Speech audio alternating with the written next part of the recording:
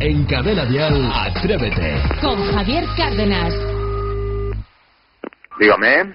Eh, muy buenos días. Quisiéramos hablar con el señor don Luis.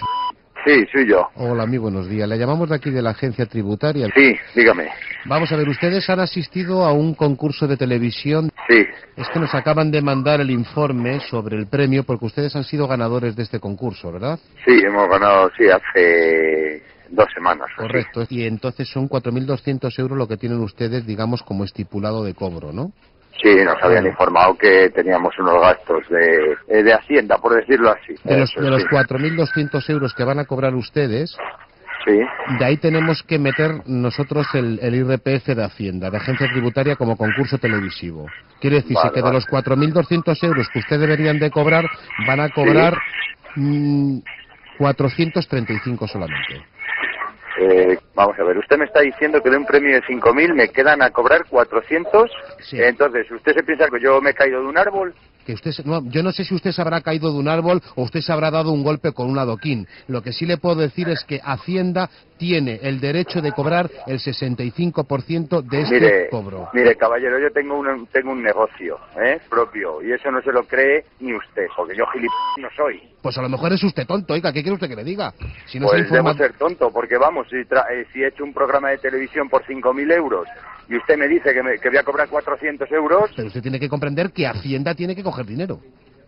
Claro, pero me, me cogen mucho, me parece a mí, No, ¿no? no, oiga, lo que está estipulado por el gobierno y lo que en estos momentos es legal. Lo que no puede usted a mí es decirme de que si yo sé bien lo que estoy diciendo y vuelvo a Usted repetir... cuando quiera me manda un pagaré con 400 euros y los 4.000, pues, Ya está. pues mira, así estamos, estamos manteniendo el país. Correcto, así Sí, estamos manteniendo el país y a tontos como usted también, que dicen ustedes entender de leyes y lo único que saben ustedes es hacer el tonto. Porque usted ha salido en la tele y encima de que ha salido en la tele quiere usted Como cobrar usted decir gilipollas, que yo voy a cobrar un gilipollas 4.000. no. Y le voy a decir Sí. otra cosa, tenga usted cuidadito, a ver si voy a tirar, voy a tirar de información de sus cuentas y lo de gerente Sí. que es usted de una empresa, a ver si vamos a tener problemas A ver con si me voy a quedar en peón, tenga usted cuidado. Sí, es que tiene usted mucha boca, me parece a mí. A ver si de gerente me voy a quedar en peón. Porque es que vamos, lo mismo es que me va usted a quitar el piso. No, pues, pues a, lo- pues a lo mejor te- a lo mejor tiene usted cositas por ahí escondidas y tenemos que tirar un poquito de la cuerda. Es que se está si, usted las, cu- si quieres se las cuento. y No, pero si yo con dos teclas que le da al ordenador sé cómo va su situación, señor. Lo que Ya tiene que tener es cuidadito con la boca. Ya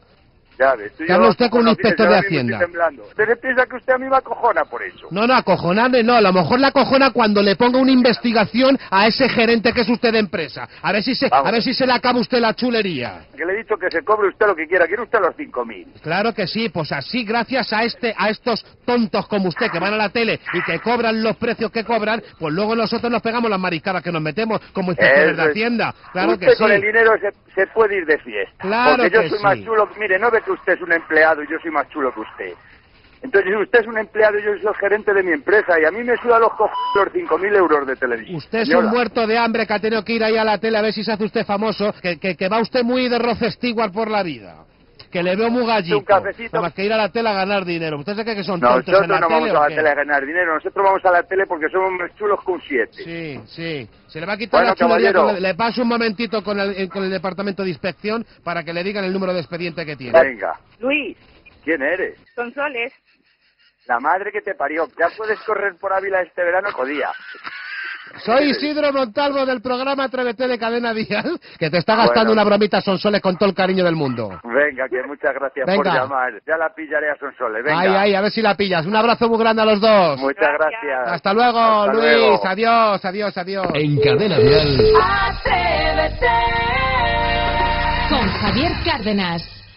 en Cadena Dial, Atrévete. Con Javier Cárdenas. Dígame. Hola, muy buenos días. El señor don Emilio, por favor. Emilio es mi marido. Sí, y está el señor, eh, don, No. don- don Emilio. No. Soy el director general del Departamento de Préstamos y Hipotecas. Ah, muy bien, encantada. Pues igualmente. Vamos a ver, es que me ha mandado un escrito el director del banco porque parece ser que tuvieron ustedes un pequeño problema referente a una renovación De de... las ayudas. Sí, y quisiera que ustedes me dijeran qué es lo que pasa. Pues nada, nosotros teníamos que renovar las ayudas, que bueno, tenía una duración de cinco años. Ujú. Y la consellería pues cogió toda la documentación y luego me envió un escrito diciendo, pues nada, que ellos no podían hacer nada y digo, pues bueno, ¿qué puedo hacer? Me dijo, eso tienes que hablar con tu banco. Pues eh, de hecho también yo en mi empresa que tengo, un- bueno, el abogado que su, su madre trabajaba allí en el dijo lo mismo, que en esos casos que, que hay que pedir explicaciones a la entidad bancaria No, no, no, y pero- que ellos siempre avisan mediante carta de Eso que es mentira, que señora. ayudar. Eso es mentira, ya- señora. Y usted es Allí lo- me dicen una cosa y ahora usted me está diciendo otra. No, yo a usted le digo la realidad porque soy la persona que dentro de lo que es esta organización soy el que llevo el peso más grande y ser ustedes los que tienen que estar pendientes. Y claro, cuando se acaban estos cinco años, si ustedes no han renovado, nosotros damos por hecho de que a ustedes no les interesa seguir más con esta situación y tienen ustedes que estar ya pues cogiéndose al tipo de interés que le pongamos. No sé, usted me está diciendo ahora esto, pues yo volveré a preguntar al abogado de mi empresa qué puedo hacer, porque claro, yo tampoco voy a decir, usted me está diciendo eso, pues ya me quedo con brazos cruzados. Eh, Sí, pero de todas maneras, cuando usted habla del abogado, perdóneme señora, ¿qué significa de que usted va a hablar con un abogado? Pero eh, es que no lo entiendo.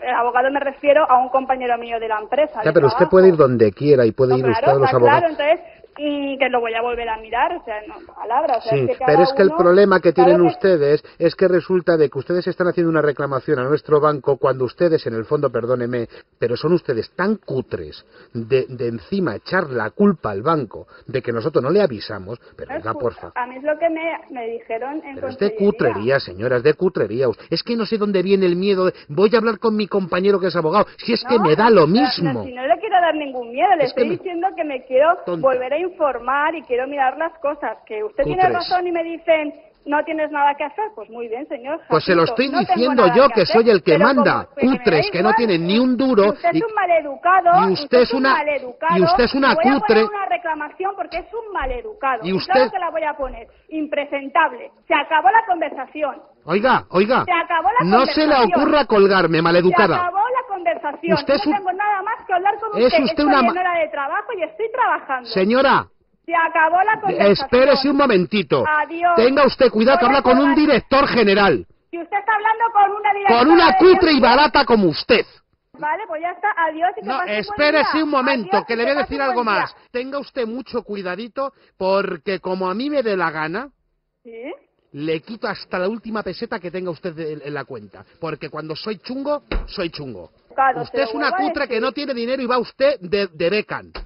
¿Me entiende ¿De dónde? beca? Sí, usted va de pija y no tiene ni un duro para Pero estar si en usted este no me banco. conoce, ¿qué dije que no Pero dice? si Si sé su no cuenta, si no tiene usted ni un duro, señora. ¿Pero qué está usted hablando? Ay, Dios mío. Que... Ay, Dios mío, que creo que usted tiene poco trabajo y está un poco aburrido. No, no, le voy a pasar con que mi secretaria. Se Señora, acabó. le paso con mi secretaria, he dicho. Clara. ¿Juan Carlos? ¿Quién eres?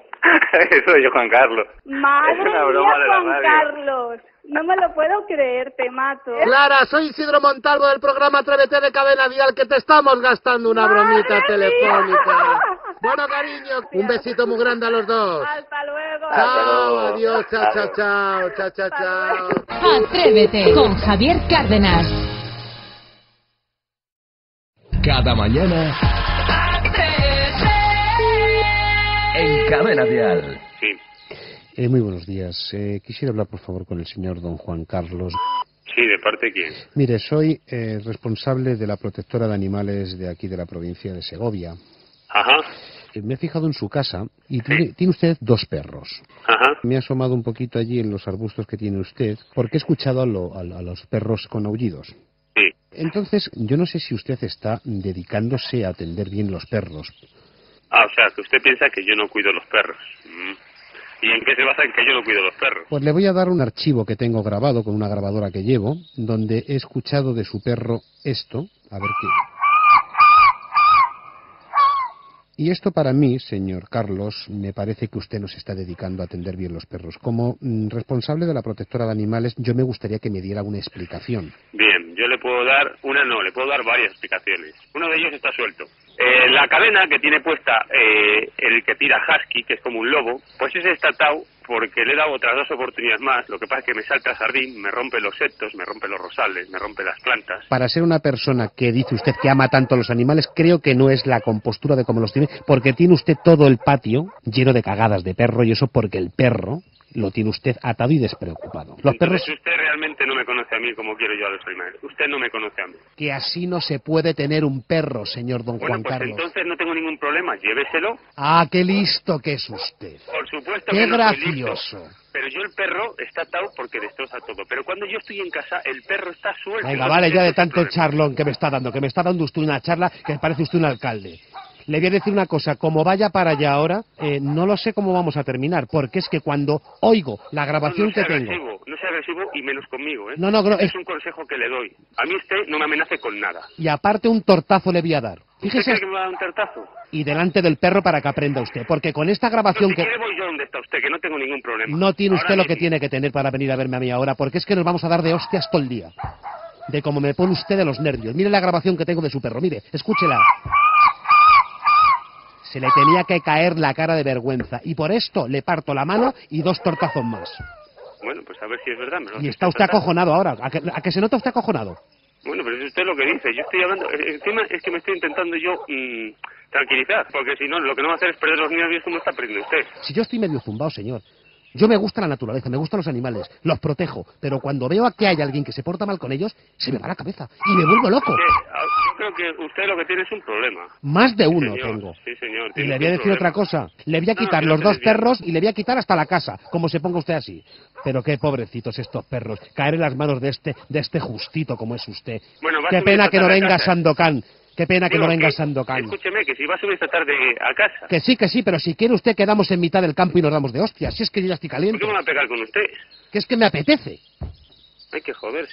Yo creo que usted no, actúa, no está actuando correctamente. Le paso con el departamento de secretaría que no quiero seguir hablando con pásese, usted. y pásese si quiere esta tarde por casa, que yo voy a estar toda la tarde en Que casa. te voy a dar un tortazo como me pase, que me estás provocando, que esta tarde tengo que hacer cosas. Pero que- no, hombre, que es para que vea cómo están los perros y demás. Mire, tengo un elefante aquí al lado. Mira, ca- cari- ven, cariño, ven, tú coge aquí de una manzanita. Mire, mire.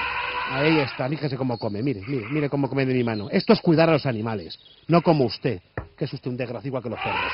Le paso. Vale. Es un pringao. Juan Carlos, Dime. soy Isidro Montalvo del programa Atrévete de Cadena Real, que te estamos gastando una broma telefónica de parte de tu hermano. Ya, le- ya le voy a dar yo a mi hermano. Ya le voy a dar yo a mi hermano. Bueno, un abrazo muy grande a los dos. Venga, Chile. Chao, chao, chao, chao. Atrévete con Javier Cárdenas.